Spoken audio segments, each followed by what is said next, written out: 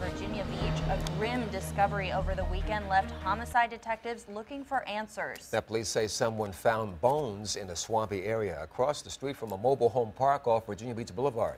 10 News side's Rico Bush joins us now in the studio with the latest on this case. Rico? Well, good morning, Don and Lex. And those remains are with the medical examiner who will determine whether the bones are human or not. Virginia Beach police have not released many more details in their investigation, but say the case is being handled by their homicide unit. Now, police spent a few hours looking into the wooded area for evidence around 2.30 on Saturday afternoon. The property owner, who didn't go on camera, says a young man discovered those possible remains while driving trucks through the marshy land. Now, the bones appear to be human and wearing a man's clothing. Meanwhile, people who live in the area were shocked and horrified by the discovery. It's sad. It's really sad. Hopefully, there wasn't. Hopefully, somebody that's been missing for a while, their loved ones to find them.